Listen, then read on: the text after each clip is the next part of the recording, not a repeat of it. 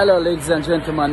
My name is Wilton Wilson. I am the proud owner of Yardman Butcher. I know a lot of people see Pakistani, but they're just working for me. I hire Pakistani because they're a good butcher and they help bring in the Pakistani community to come in the shop. Without um, Pakistani in the shop, they would not come in. I know people saying that the, the shop still come up under Kings, but people have to remember that I took over the shop from Mirror Alal and they have it for over three, four years. So, and King's still there. I have a shop, Tasty Flavor, in Anerley. And if you Google the shop at times, it will come up as um, Crystal Cove because that's the person who I take over the shop from. And I have that shop for over six years now. So just to let people know, this is my shop. I'm not working for nobody. I'm working for myself.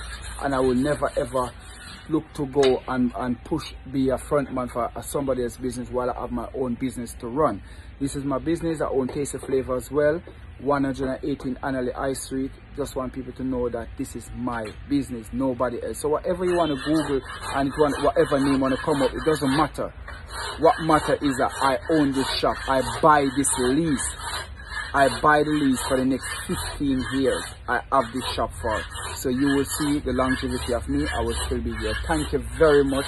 And I hope people just come and support because I really need the support to keep this shop going.